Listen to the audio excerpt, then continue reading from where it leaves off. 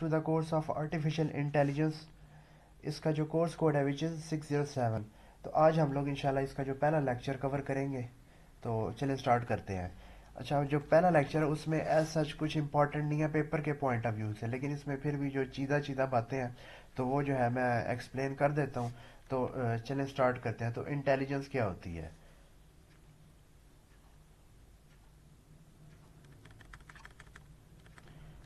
इसमें जो what is intelligence तो इसमें ना अब इंटेलिजेंस की डेफिनेशन तो कोई नहीं लिखी हुई, यानी ये जो पैराग्राफ दो बने हुए हैं।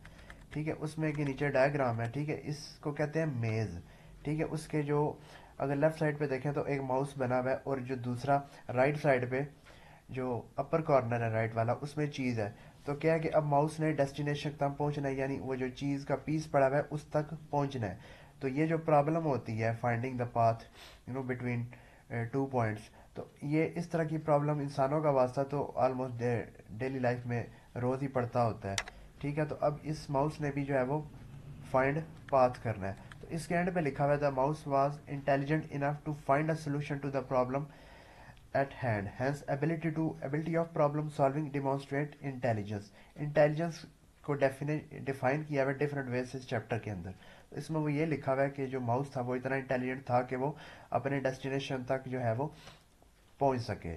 तो ये किस चीज़ को डिमॉन्स्ट्रेट करती है? ये इंटेलिजेंस को डिमॉन्स्ट्रेट करती है। यानी जो एबिलिटी होती है प्रॉब्लम सॉल्विंग की या किसी प्रॉब्लम को सॉल्व करना, ठीक है? ये किस चीज़ को डिमॉन्स्ट्रेट करती है? इंटेलिजेंस को डिमॉन्स्ट्रेट करती है। उसके बाद हम लोग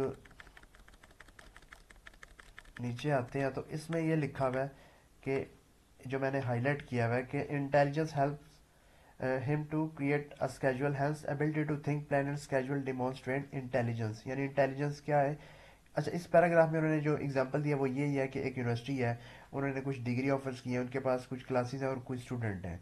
ठीक है? उन्होंने ये मैनेज करने की, जो टाइमिंग है ना, यानी इस टाइम पे जो है, ये वाले स्टूडेंट्स पढ़ेंगे, उनको ये टीचर्स पढ़ाएँगे, इस क्लास में जो है, इस डिग्री वाले पढ़ेंगे। दूसरे पॉइंट ऑफ़ टाइम पे ये वाली क्लास होगी, ये वाला टीचर पढ़ाएगा और ये वाले स्टूडेंट्स होंगे।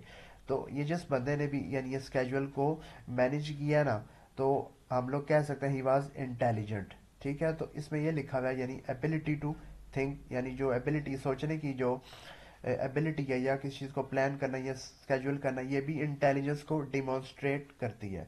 अच्छा वन मोर थिंग के, जो इंटेलिजेंस होती है ना, वो ह्यूमन बींग्स हो गए, या लिविंग बींग्स या लिविंग स्पीशीज हैं, यानी इंसानों में ही पाई जाती है और जानवरों में ही पाई जाती है। ठीक है ये एक पॉइंट था। तो इसके बाद आ, आगे नीचे क्या लिखा हुआ है कि ability to tackle ambiguous and fuzzy problems demonstrate intelligence यानी ऐसी सिचुएशंस जो कॉन्फ्लिक्टिंग हो कंफ्यूजिंग हो या एम्बिगुअस हो इन सारी बातों का मतलब एक ही है। तो इन चीज़ों के साथ डील करने की जो एबिलिटी है वो भी किस चीज़ को डिमॉन्स्ट्रेट करती है? इंटेलिजेंस को ही डिमॉन्स्ट्रेट करती है। अब इस पैराग्राफ में जो उन्होंने एग्जांपल दी हुई थी यानी एक लड़का है जिसकी हाइट छः फिट है तो क्या होगा, वो वो क्या करेगा, वो अपने दोस्त से पूछेगा कि मेरी हाइट लंबी है या छोटी है। तो इस सिचुएशन में क्या होगा कि अगर उसके दोस्त की हाइट उससे भी लंबी है, ठीक है तो वो तो ऑब्वियस ही बात है, वो कहेगा कि तुम्हारी हाइट छोटी है। अगर वो ऐसे दोस्त से पूछेगा जिसकी हाइट उससे छोटी है तो इट इज़ ऑब्वियस कि वो उसे बोलेगा कि तुम्हारी जो हाइट है वो लंबी है। तो इस तरह की जो सिचुएशन होती हैं, उनको एम्बिगुअस सिचुएशन कहते हैं।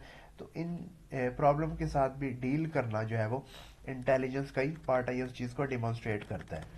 ठीक है? उसके बाद कहता है ability to learn and recognise demonstrates intelligence यानी किसी चीज़ को सीखने की या पहचानने की जो एबिलिटी है, उसको भी इंटेलिजेंस ही कहते हैं। यानी ये चीज़ इंसानों में भी होती है।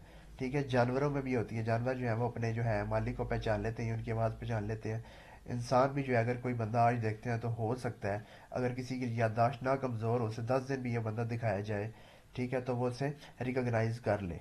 ठीक है? तो ये जो एबिलिटी है, ये जानवरों में भी होती है और इंसानों में भी होती है तो ये इंटेलिजेंस को डिमॉन्स्ट्रेट करती है। ठीक है? उसके बाद the ability to understand and perceive demonstrates यानी किसी चीज़ को समझना या उसकी जो पिक्चर अपने माइंड में क्रिएट करना, ये भी इंटेलिजेंस को डिमॉन्स्ट्रेट करती है।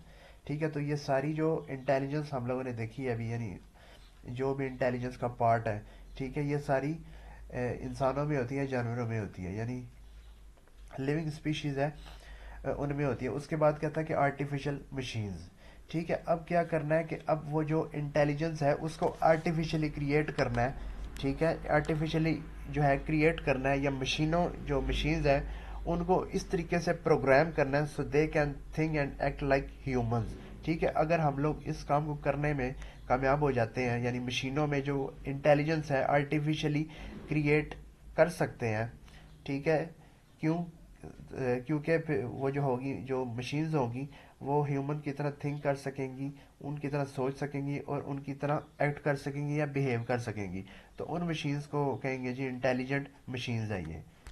ठीक है, उसके बाद ये जो लिखा हुआ है वट इफ़ ये हम, अब हम लोगों ने ऊपर जो भी जो भी स्टडी किया ना, ये सारे वही है। यानी अब इसमें जो है, पहले तो ह्यूमन की हम लोग बात कर रहे थे, अब यहाँ पे ये लिखा हुआ है कि यानी जो काम ह्यूमन पहले कर पा रहा था क्या वो काम जो है, मशीनें कर सकती हैं।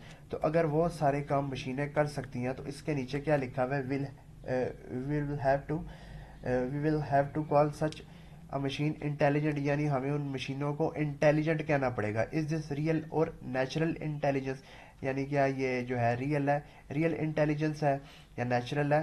तो इसका आंसर है no this is an artificial intelligence ठीक है, जो कि क्रिएट की गई है। मशीन्स के अंदर उनको प्रोग्राम किया गया है। ठीक है? तो जो पहला लेक्चर था, वो यहाँ पे ख़त्म हो रहा है।